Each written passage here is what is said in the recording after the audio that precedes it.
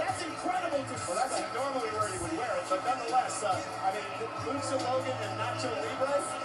I, I called my little brother down in Mexico City, and he told me that all of Mexico is buzzing about Lucha Logan. He could be the next El Santo. Oh yeah, your brother, he's a reputable source.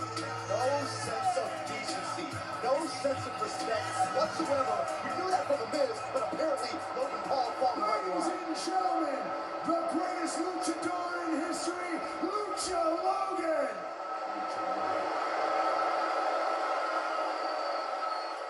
Rey, unmasking you was the most disrespectful thing I could do to you as a luchador. But when you don't get respect that you have earned, you take it. And I'm gonna keep taking it.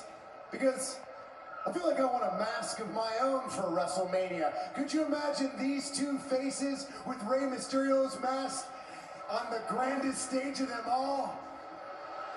Los Santos. So tonight, whatever mask you are wearing during this match, I am going to take. Yeah, yeah, thank you. Oh, wait, wait. Enough. Where's the disrespect now, Byron? Are you joking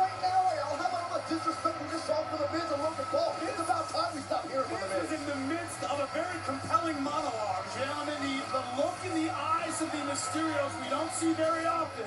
This is how serious. How this is how.